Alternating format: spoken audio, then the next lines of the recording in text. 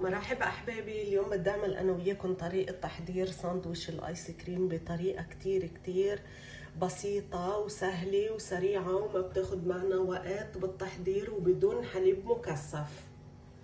طريقة عن جد مية بالمية وكتير طيبة.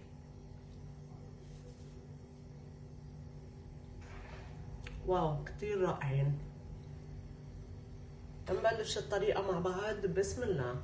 عنا أول شي 150 ملي حليب. كمان هيدا بسكويت الويفر اللي عنا متواجد بأي سوبر ماركت بتلاقوه. وملعقة طعام سكر بودرة وظرف كريمة. لنبلش الطريقة مع بعض. بسم الله. أول شي بدنا نخفق الكريمة. بحط السكر.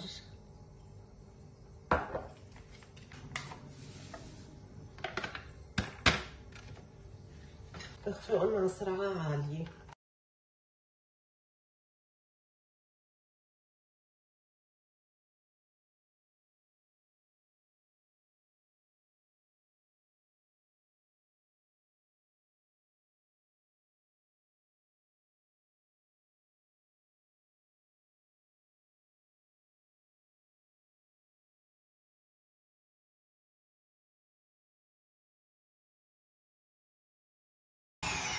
انتهينا من الخفق عندي صينية غلفتها بالنايلو بهيدا الشكل.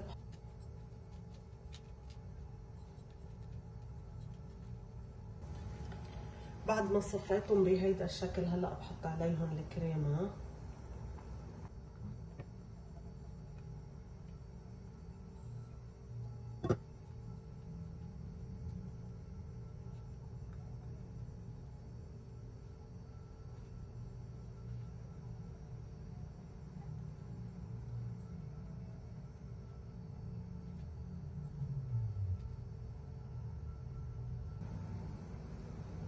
بعد ما مدت الكريمه بهيدا الشكل هلأ بحط عليهم كمان ويفر من الأعلى.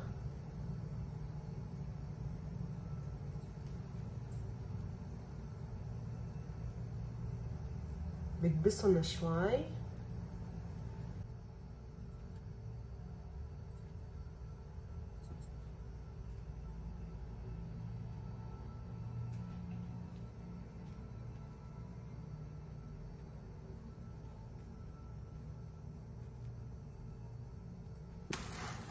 كمان بغطيهم بنايلو وهلأ بدي أحطهم بالفريزر.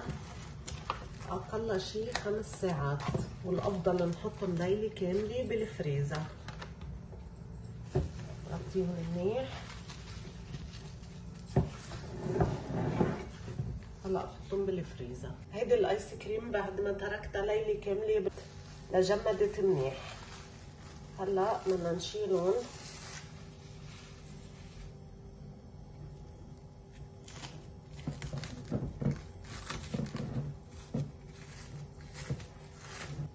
حطيت نايلو لهيدا السبب؟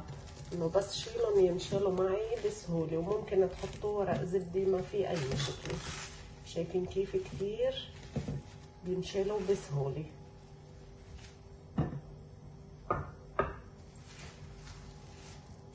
هلأ بدي اقصهم أنا وياكم.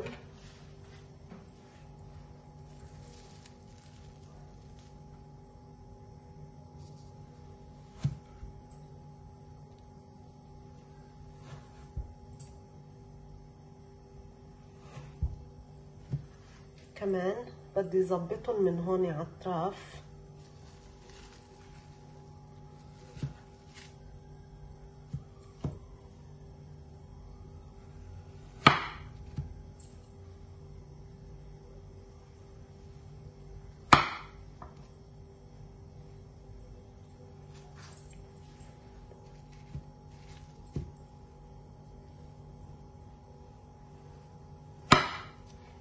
هيدا الشكل النهائي بهيدا الشكل.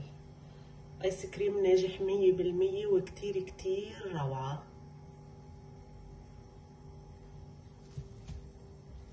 بعمل هيدول كمان بشيل الزوايد منهم.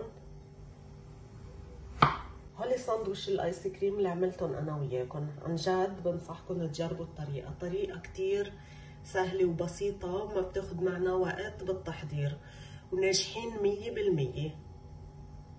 بتمنى تجربوا الطريقة وتعجبكم. إن شاء الله بشوفكم بالفيديوهات الجاي باي باي أحبابي.